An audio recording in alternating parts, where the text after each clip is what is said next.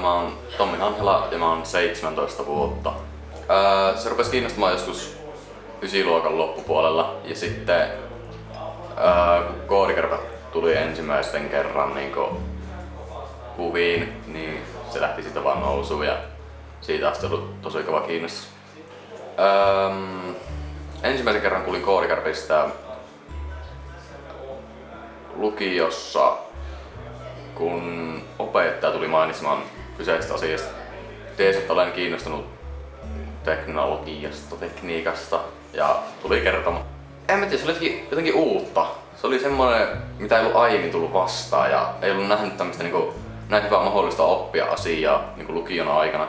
Ennen kuin ensimmäisen kerran tulin, niin, niin kerkesin vähän katsoa C-Sharpia, mutta muuhun en ollut koskenut. Ja sitten nyt toista kertaa kun tänne tulin, niin oli tietenkin se viime vuoden kokemus ja vähän enemmän unityö ja muuta C-Sharpiin liittyvää käyty läpi. IT-alalle on suunnitellut siirtyväni jossakin vaiheessa lukion jälkeen. Katsoa, jos ehkä jopa Oulu Game läpi jossakin vaiheessa.